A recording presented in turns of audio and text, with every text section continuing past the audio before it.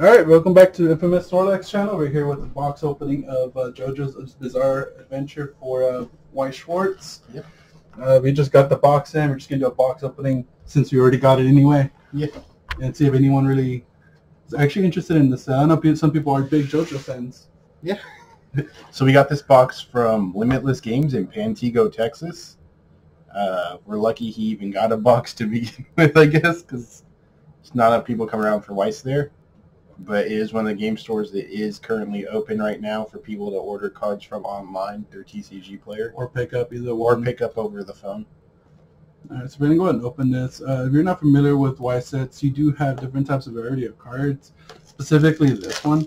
So usually in a in a uh, Weiss Schwarz, instead of getting a such thing as such as a triple R, you might get a JoJo rare. which is basically this set's version of a triple R. But it's more more like similar to an SP, but it's not an SP. We got the uh, Bakio box topper promo. and I guess we're just going to crack all the packs. In every Weiss box, you get 20 packs. What, at least two triple rares, or in this case, JoJo rares. Uh, keep, this is for the new people that are not familiar with with Weiss Schwarz as a card game. Yep. Uh, we are Weiss Schwarz players as well, so we uh, just letting you know beforehand.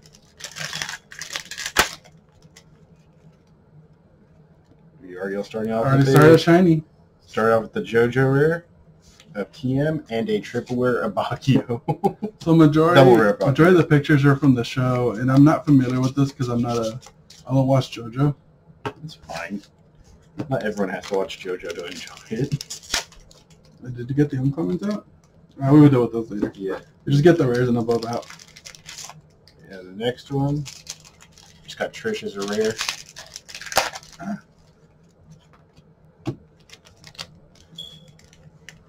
Oh, nice and long. Actually needed one of those still. It looks really really flamboyant. So yeah, this is the part where um, art style changed up a little bit. Oh, not the right double zero Giorno, sadly. Not the one you wanted. Not the one I wanted. I Wait, so you already pulled two double rares? one. Oh, what to say? Not the Giorno zero zero I wanted, but that's fine. I think we get one more JoJo rare in the pack, and then the chance at an SP. Oh, hey, there we go. We got the three drop double rare Giorno.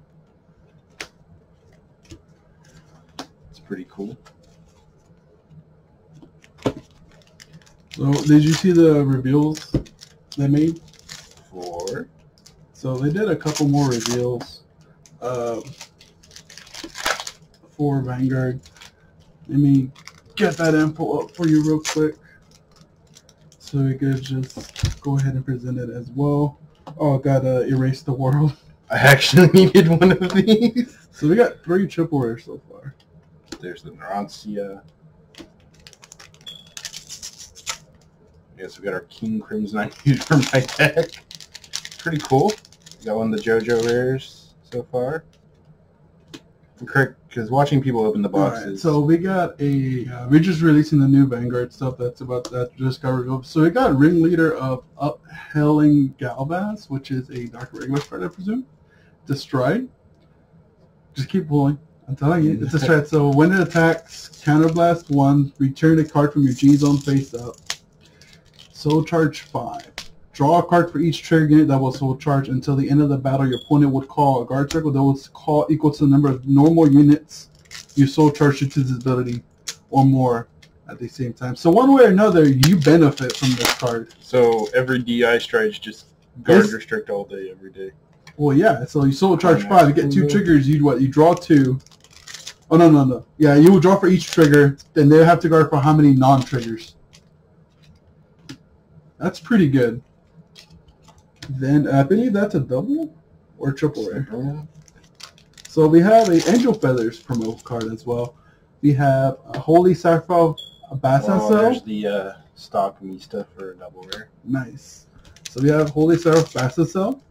So Van, uh, Generation Break 3, when placed to end of your fight, your damage will become 7 cards to lose.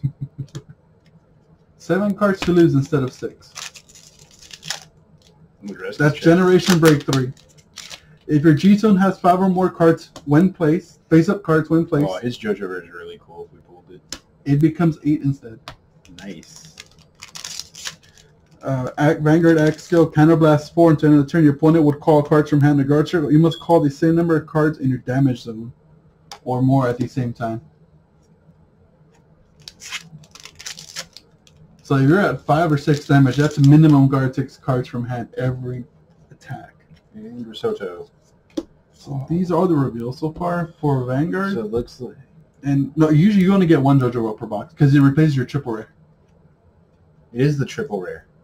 Yeah, it, no, it's not considered triple rare. No, It's no, it's a it's a triple rare. Okay, There's no more triple rares in the set. They're replaced by JoJo. that's what I'm rares. saying. It's that's your yeah. So you got what four? Yeah, we got four double rares. Believe you should have one more. Because some say four or five, you get double rares. Double check. 'cause everything else has been a rare so far. You're supposed to get a foil. Oh no, I did make a mistake. Yeah, We're not double rare. you're supposed to get five. You're supposed to get a second foil card too. Maybe this set's different. It's very different. different than what we're used to. You usually get five double rares, one triple R, which is usually a uh, character card, or a climax, which is one of the side cards here, or you get an SR That'd been the really cool. because they keep swapping. Yeah. So I can't say which one's a triple R, which one's an SR. They always swap. So basically, a foil climax and a foil card. I guess not in this case. Was this set, basically. Yeah. I was really hoping for the the Diavolo secret, just to have it. All right, so far, let us know how you think we pulled out of this. Which one's your favorite JoJo character? Leave in the comments below. Uh, please subscribe for future videos for any more box openings. Uh, if you want to see any type of different things, just let us know in the comments. Uh, share our videos to others as well. Uh, you know, we're gonna do reveals once we do videos as well, so you at least get some more rel- relative content as well. Yeah. Is there anything else you want to say? Just remember to support your local game stores because I think around here it's going to be May 1st as all the LGSs are supposed to open back up to the public. I'd really stress that, you know, when that happens, go to your game store. Because at the end of the day, they are probably struggling the most. After all else. this, we're all need to support our game stores or we're gonna lose them. Yeah. It's a bad time for everybody. So everybody's been spending those stimulus checks at these stores. I've, I've seen people, I'm not going to lie, take their stimulus checks and just go dump it on card games. I mean, why not? I don't blame them. It's their hobby. It's a passion. We just hope you guys will try to support your game store the best you can, though. All right, guys. Well, like and subscribe. Please share our videos, and we will see you in the next one. Yep.